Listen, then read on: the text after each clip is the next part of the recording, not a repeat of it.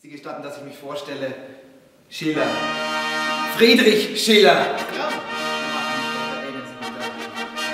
Genau, der nämliche Schiller, der die Räuber geschrieben hat. Ein Kassenschlager. Allen gefällt's. Ihm nicht. Goethe. Den Dolch im Gewande.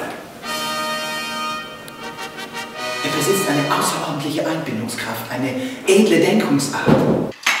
Guillotine. Jetzt das offizielle Schlachtwerkzeug der Revolution. So viele Stücke und Romane hat er begonnen und nicht vollendet. Aber das soll sich jetzt ändern. Wie wäre es, wenn wir beide auf Basis dieser alten Geschichten einen Wettstreit abhielten? Einen Wettstreit der Dichter. Einen Wettstreit im Verfassen von Balladen. Vor seinem Löwengarten, das Kampfspiel zu erwarten, saß König Franz. Du liebes Kind, komm, geh mit mir.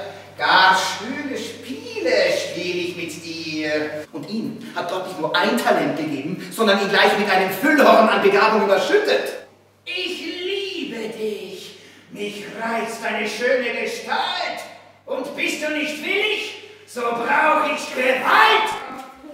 Eben noch das Wort entfallen, da sieht man's von den Schiffen wallen und tausend Stimmen rufen, Sieg!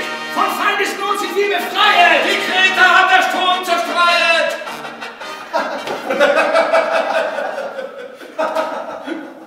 da wird's still. Und herum im Kreis, von Mordsucht heiß, lagern die gräulichen Katzen.